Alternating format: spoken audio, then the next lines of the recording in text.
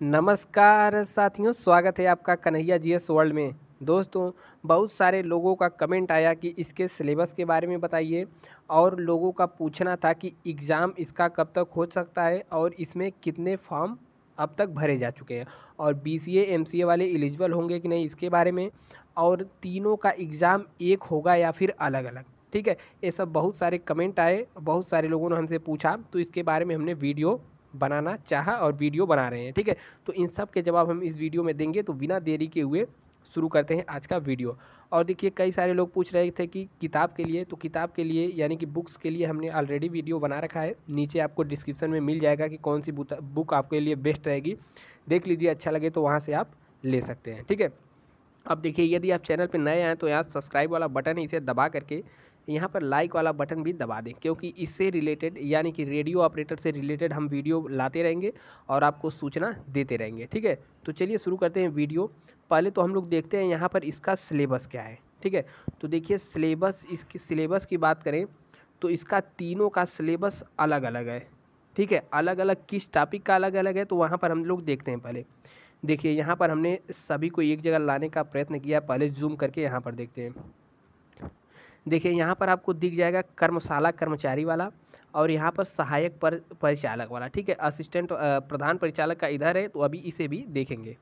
तो देखिए, यहाँ पर सभी तो लगभग लगभग सेम है, लेकिन जो ये साइंस वाला टॉपिक है, इसे साइंस वाले पर एक बार नज़र डालिए, ठीक है? देखिए साइंस का जो चैप्टर है साइंस का सिलेबस है, सब में अलग अलग दिया हुआ है। यहाँ पर देखेंगे तो द्रव्य एवं द्रव्य की थोड़ा सा इसे छोटा करते हैं। देखिए, यहाँ पर क्या दिया है? द्रव्य ज़्यादा छोटा हो गया। ठीक है, यहाँ पर द्रव्य प्रकृति एवं व्यवहार, और यहाँ पर देखेंगे तो यहाँ पर दिख जाएगा भौतिक जगत तथा मापन, और उसके अलावा यहाँ पर शुद्ध गति और गति के नियम। यहाँ पर क्या दिया हुआ है? अणु एवं परमाणु संरचना, गति एवं बल, कार्य, ऊर्जा, शक्ति, गुरुत्वाकर्षण, ध्वनि और प्राकृतिक संसाधन व पर्यावरण। उसके अलावा यहाँ पर रासायनिक पदार्थ, प्रकृति, व्यवहार, अम्ल, क्षार तथा लवण, धातु एवं अधातु तत्व का आवर्ती वर्गीकरण, प्राकृतिक घटनाएँ एवं विद्युत का प्रभाव। जबकि यहाँ पर देखेंगे तो यदि आपको दिखाई नहीं दे रहा है, ठीक तो सुन लीजिए हम क्या क्या बोलना चाह रहे हैं, ठीक है?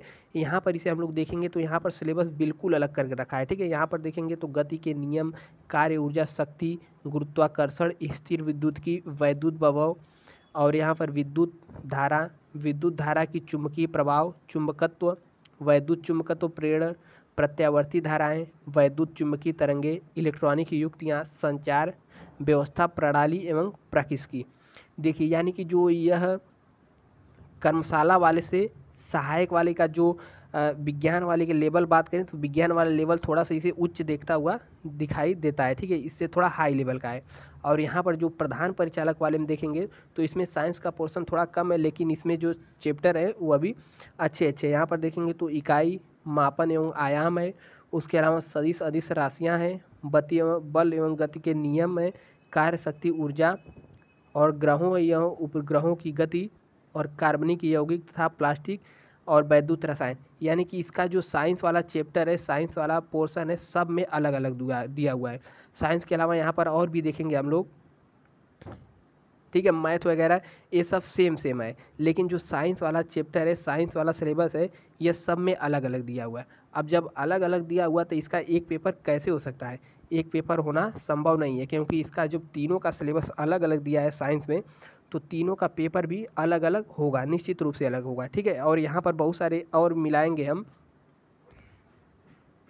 तो देखिए, यहाँ पर मानसिक अभिरुचि की बात करें या फिर तार्किक परीक्षण की बात करें, यहाँ पर आप देखेंगे तो यहाँ पर सेम है। ठीक है, मिला लीजिए, समरूपता यहाँ पर भी है।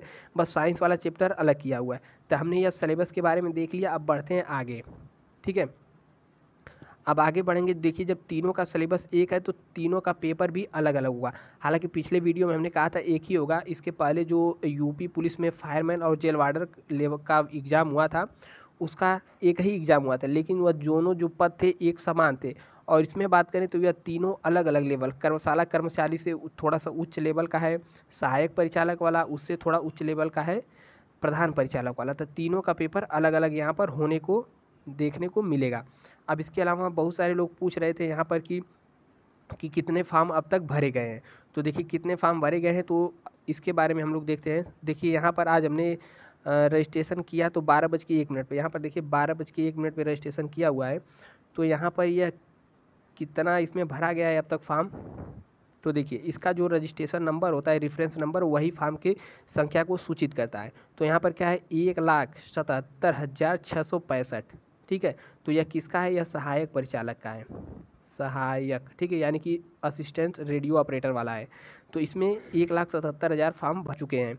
इसके अलावा यहाँ पर यह वाला देखें तो देखिए, यह ग्यारह बज के सत्तावन मिनट का स्क्रीन शॉट है। तो इसमें अब तक कितने फॉर्म भरे जा चुके हैं तो यहाँ पर देखते हैं। तो देखिए, यहाँ पर दे रहा है रेफरेंस नंबर अड़तालीस हज़ार दो सौ तिरसठ। यानी कि जो हेड रेडियो ऑपरेटर वाला है, इसमें अड़तालीस हज़ार दो सौ तिरसठ फार्म अब तक भरे जा चुके हैं। जब तक हम वीडियो बना रहे हैं, यानी कि बारह बज करके ग्यारह बज के सत्तावन मिनट तक, ठीक है? तो इतने फार्म भरे जा चुके हैं और कर्मशाला कर्मचारी वाली बात करें तो उसको भी हम अगले वीडियो में बता देंगे। अब देखिए, यहाँ पर कन्फ्यूज़न है कि एग्ज़ाम कब तक होगा। तो देखिए, इसके पहले भी यूपी पुलिस ने एग्ज़ाम कराया था ई एस आई वाला और ए एस आई वाला। तो एग्ज़ाम कब तक हुआ था? तो एग्ज़ाम फॉर्म भरने के लगभग पाँच महीने बाद हुआ था। लेकिन ये अभी पाँच महीने बाद होगा? नहीं।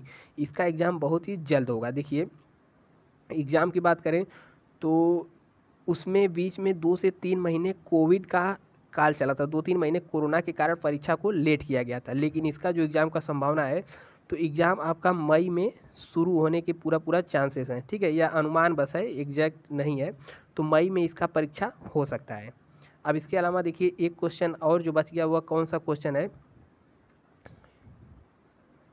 देखिए, यहाँ पर BCA और MCA वालों का। ठीक है तो B C M C eligible होंगे कि नहीं? तो इसके बारे में देखिए, हम बता रहे हैं आपको बी सी एम सी और बी सी ठीक है? तो बी सी एम सी इसमें जब शुरुआत में जब फॉर्म आया था तो इसमें कहा जा रहा था कि सभी लोग अप्लाई करेंगे। लेकिन जैसे ही फॉर्म भरना शुरू हुआ तो उस पर जो हेल्पलाइन नंबर दिया हुआ था, वहाँ पर कॉल करने पर पता चला कि BCA और एम वाले मतलब ये सब एलिजिबल नहीं होंगे। वहाँ पर कॉल करने पर बताया जा रहा है कि ये लोग एलिजिबल नहीं होंगे। लेकिन कुछ बड़े यूट्यूबर कुछ बड़े हस्तियों ने वहाँ पर जाकर के भर्ती बोर्ड में उनसे चेयरमैन साहब से बात किया और वह कह रहे हैं कि इसमें संशोधन किया जाएगा। ठीक है तो जो आपका नोटिफिकेशन आया था, हमारा नोटिफिकेशन आया था, उसमें संशोधन की बात उन्होंने कही है।